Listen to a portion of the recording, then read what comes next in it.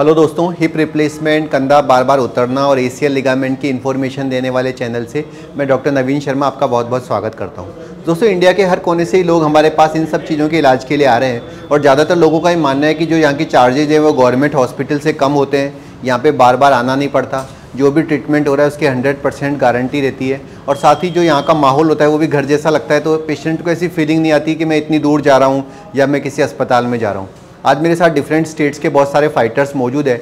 आइए इन सब की जो स्टोरी है मैं आपसे शेअर करता हूँ। तुमचं नाव काय आहे बालाजी बगर। काही त्रास झाला होता तुम्हाला? मला एव्हीएलचा इश्यू होता। ए एव्हीएनचा हे तुम्ही कुठे रहता? पुण्यामध्ये महाराष्ट्र। तो तिकडे दाखवला होता का? तिथे दाखवलं होतं. वेगळं तिकडच्या डॉक्टर काय सांगितलं होता तुम्हाला? वेगळं वेगळं त्यांनी सांगितलं की ऑपरेशन करायला लागेल. त्याच्यानंतर त्याची गॅरंटी एवढीच मिळेल. एवढ्या दिवसच आराम करायला लागेल. ह्या सगळ्या गोष्टी सांगितल्या गेल्या होत्या. त्यामुळे लवकर डिसिजन घेता नाही आलं माझ्या सा माझ्यासाठी इन्फॉर्मेशन तुम्ही कशाला घेतली होती? मी बेसिकली यूट्यूबवर असंच हे ऑपरेशन कसं होतं हे सर्च करण्यासाठी गेलो त्यामध्ये यूट्यूबचं तुमचं रिकमेंड आलं. त्या त्यानंतर तुमचे मी व्हिडिओ बघितले. व्हिडिओ बघितल्यानंतर मी तुम्हाला रिपोर्ट शेअर केलं. त्याच्यानंतर तुमचे फीडबॅक आले रिपोर्टवरनं मग त्यानंतर डिसिजन घेतलं की तिकडे जावं. इकडच्या एक्सपिरियन्स कशाला म्हणजे तुम्हाला झाला? मी सॅटिस्फाईड इकडच्या एक्सपिरियन्स एकदम बेस्ट आहे की आता माझं मी वन साईडच केलं आहे बोथ साईड्स आहे. मी तीन महिन्यांनी परत येणार आहे सेकंड करण्यासाठी. आणि तुम्ही काही मेसेज देणार मराठी माणसांना? मराठी माणसांना तर शंभर टक्के मेसेज देईल की कुणाला हा त्रास असेल आणि ते यूट्यूब बघत असेल तर त्यांनी हंड्रेड पर्सेंट इकडे तिकडे न बघता डायरेक्टली एकदा कॉन्टॅक्ट करावा नवीन सरांना.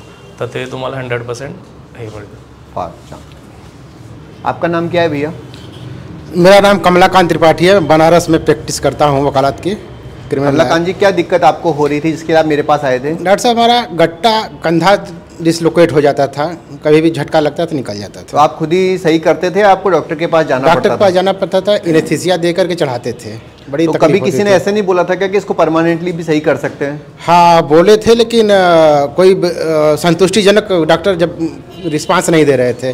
तो आप इतनी दूर आए आपको इसकी जगह के बारे में कैसे मालूम चला? यूट्यूब से डॉक्टर साहब हम सर्च किए तो उसमें आपका हमको डिटेल मिला। तो आपके मन में ऐसा नहीं था मैं इतनी दूर जा रहा हूँ कहीं को कोई दिक्कतें आएँगी कोई चीटिंग नहीं हो जाए मेरे साथ? नहीं सर आपकी बात सुन करके मन में हंड्रेड परसेंट विश्वास हो गया। ऑपरेशन में तो दर्द के मारे आपकी चीख ही निकल गई होगी। बिल्कुल नहीं पता भी नहीं चला। जो कंधा उतरता है तब ज़्यादा दर्द होता है या इस ऑपरेशन में ज़्यादा दर्द कंधा उतरते वक्त तो जान चली जाती है इसमें तो कुछ पता नहीं चला। ठीक है अब आपको 45 दिन ये पट्टा रखना है और उसके बाद एक्सरसाइज हमको गाइड आपको गाइड करते रहेंगे। आपको अब बार बार यहाँ पे आने की ज़रूरत भी नहीं ठीक- ठीक, इनको फ़ोन दे आपका नाम क्या है भैया? जय कुमार सर। आप कहाँ के रहने वाले हो? बिहार का। अब जय किस दिक्कत के लिए आप मेरे पास आए थे? एसीएल सर दौड़ने में प्रॉब्लम होता था। तो आपने वहाँ बिहार में दिखाया था क्या? हाँ सर दिखाए थे। तो वहाँ इलाज का डिसीज़न आप क्यों नहीं ले पा रहे थे? सर संतुष्टि सौ परसेंट गारंटी भी नहीं थी ना। और यहाँ सब सुविधा मिल जाता है अकेले भी आकर सब कर खर्चे के मामले में कैसा है ये अस्पताल? सही है सर। आम आदमी भी कर सकते हैं। अच्छा इनको दे दो भैया को पीछे वाले को। आपका क्या नाम है भैया? सर ब्रजेश दीक्षित। ब्रजेश जी आपका कंधा कितनी बार उतर गया था? सर काउंटिंग नहीं है मेरे पास। मतलब करीब 200 बार? हाँ हो गया होगा सर। तो ये तो काफ़ी टाइम हो गया तो आपने कहीं दिखाया नहीं था क्या? वहाँ पे कहाँ के रहने वाले हो आप? सर मैं हाथरस उत्तर प्रदेश।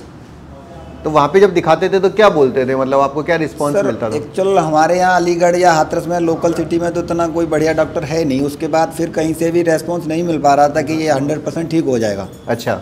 उसके बाद फिर आपके कई सारे से यूट्यूब पर वीडियो देखे और उसके बाद अब पीछे दो साल पीछे मेरा कजिन ब्रदर भी आपके यहाँ पे करा के गया और एकदम फिट है वो। वो एकदम सही हो गया क्या? हाँ कोई दिक्कत नहीं उसे कैसी भी। तो फिर आपकी हिम्मत बन गई कि मैं हाँ, भी करा हाँ, सकता हूँ। हाँ मैं भी करा सकता हूँ। कोई और लोग होंगे हाथरस के तो बोलोगे उनको कि भाई यहाँ पे आ सकते मैं, हो? मैं सर सबको बोलूँगा। मैं मैं मैं तो ये चाहता हूँ कि मैं जितने लोग मेरे पास हैं मैं सबको यहाँ पे रिकमेंड करूँ क्योंकि सरकारी हॉस्पिटल से भी कम खर्चा आ रहा है यहाँ पे। आम आदमी की पकड़ में है ये हॉस्पिटल ठीक। लेकिन कई बार क्या होता है देखो सस्ता होने के बावजूद भी क्वालिटी कंट्रोल होना भी बहुत ज़रूरी है क्योंकि कई जगह भाई फ्री भी तो ट्रस्ट के अस्पताल में फ्री भी हो जाता है लेकिन क्वालिटी भी तो नहीं मिल पाती ना ऐसी जगहों पे हाँ आप नहीं करा सकते। सर ऑपरेट का पता ही नहीं लगा आपका जो हाथ चलता है पता नहीं लगता कि कब ऑपरेशन हो गया। इन भैया को दो फ़ोन। आपका क्या नाम है भैया? जी मेरा नाम मोहित है। मोहित आप कहाँ के रहने वाले हो? जो उत्तराखंड से रहने वाला हूँ मैं। किस दिक्कत के लिए आप मेरे पास आए थे? हिप मतलब हिप का दिक्कत है मुझे। तो आपने वहाँ दिखाया था क्या उत्तराखंड में? जी दिखाया था मैंने देहरादून दिखाया था। तो आप वहाँ पे डिसीज़न क्यों नहीं ले पा रहे थे ऑपरेशन का? मुझे उतना अच्छा नहीं लगा वहाँ पे। आपका वीडियो देखा तो मुझे सही लगा यहाँ पे। कैसा रहा ऑपरेशन का एक्सपीरियंस यहाँ पे? वो बेस्ट रहा मुझे तो। और दर्द कितना कितना दर्द है? भाई कई लोग डर के मारे सोफे के नीचे छुपे हुए हैं कि हम कूला नहीं बदलाएँगे चाहे कुछ भी हो जाए तो आप क्या मैसेज उनको दोगे? इतना तो पता नहीं चला मुझे दर्द का मतलब कोई दर्द वाला काम नहीं है? नहीं नहीं बिल्कुल नहीं। आपका क्या नाम है बेटा? शुभम जैन। शुभम आप कहाँ के रहने वाले हो? एमपी विदिशा। विदिशा के रहने वाले हो। जी। किस दिक्कत के लिए आप मेरे पास आए थे? हिप के लिए। कैसा रहा आपका एक्सपीरियंस दर्द का? बिल्कुल भी पता ही नहीं चला। मैंने आपको कोई लिख पढ़ा के तो नहीं बता दिया है कि यही ये बोलना है तोते की तरह आप मन से बोल रहे हो? नहीं नहीं नहीं सर। आप दिल से बोल रहे हो सारी जी बातें? जी जी। तो कोई और लोग है विदिशा के रहने वाले रीवा के छिपा के जबलपुर के तो आप बोलोगे यहाँ पे बता दूँगा कि ये नंबर वन मतलब कि कोई दिक्कत ही नहीं है। इनको दे दो। आपका क्या नाम है भैया? M D Israil M D Israil आप कहाँ के रहने वाले हो? वेस्ट बंगाल से पूर्व बर्धमान किस दिक्कत के लिए आप मेरे पास आए थे? हमारा ए टूट चुका था।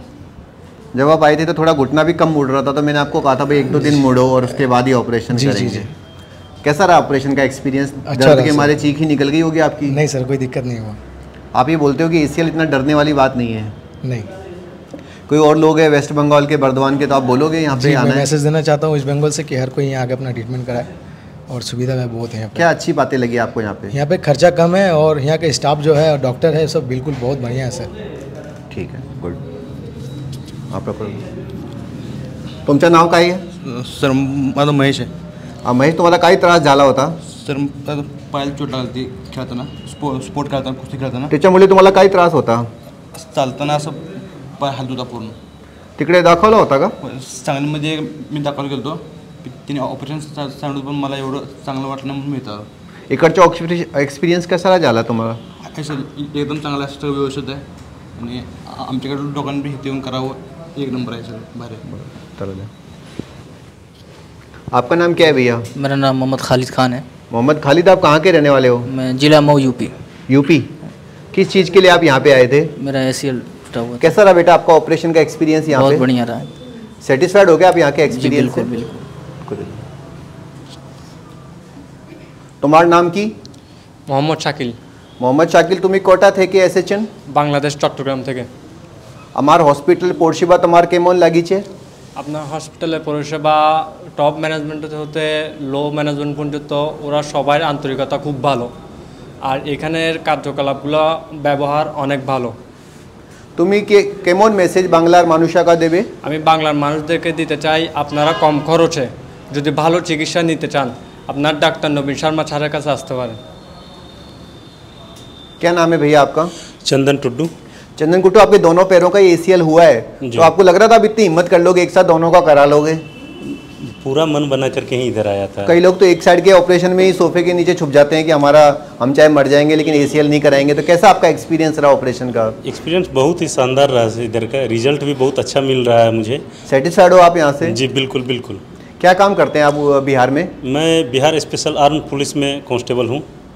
तो पुलिस में तो काफ़ी सारे लोगों को ऐसी चोट लगती रहती होगी। आप बोलोगे उनको कि भाई इलाज करा सकते हैं इसका? जी बिल्कुल। या कि दो तीन मेरे साथी हैं जिन्होंने कहा है कि पहले तुम करा कराओ अच्छा। इसके बाद हम लोग भी जाएँगे। हिम्मत करेंगे ठीक है। तो आप उनको जाके प्रमोट करना थोड़ा सा मोटिवेट कर देना। जी बिल्कुल। क्या नाम है भैया आपका? अर्जुन यादव सर। अर्जुन जी किस चीज़ के लिए आप आए थे यहाँ पे? सर रिविजन ए के लिए सर। आपका पहले जो एसीएल था कहीं पे आपने कराया था वो सक्सेसफुल नहीं हो पाया था तो आपने यहाँ पे करवाया? जी सर जी। तो आपने पिछली बार कराया और अभी कराया उसके एक्सपीरियंस में कोई अंतर लगा? पिछला एक्सपीरियंस की वजह से दस साल तक नहीं कराया इतना डर गया था मतलब पिछली बार आप इतना डर गए कि दस साल आपकी हिम्मत ही नहीं हुई दोबारा कराने हुई सर इस बार कैसा रहा आपका एक्सपीरियंस बढ़िया रहा सर कुछ पता नहीं चला।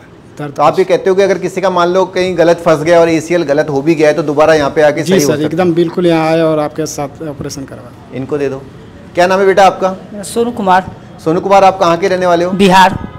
बिहार में कौन सी जगह के? गोपालगंज जिला। गोपालगंज। जी। क्या दिक्कत के लिए आप मेरे हिप पास आए हिप को दिक्कत है हिप में। हिप के लिए आए जी। आपका कूला पूरा जाम हो गया था और आप डर के मारे ऑपरेशन भी नहीं करा पाते थे। यहाँ पे कैसा रहा आपका एक्सपीरियंस बहुत अच्छा सर। अब तो आपको ऐसा लग रहा होगा कि नया ही कूला बन गया हाँ, आपका। जी। आपको ये लगता है कि भाई इतना टाइम जो आपने सुनी सुनाई बातों पे खराब किया वो बेकार था इतना कोई कूले का ऑपरेशन में डरने वाली बात नहीं होती। जी। किसी को आप कोई कूले की दिक्कत होगी तो बोलोगे कि करा सकते जी जी बोलेंगे।